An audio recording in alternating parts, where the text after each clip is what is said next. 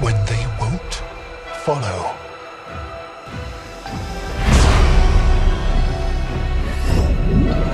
Why fight?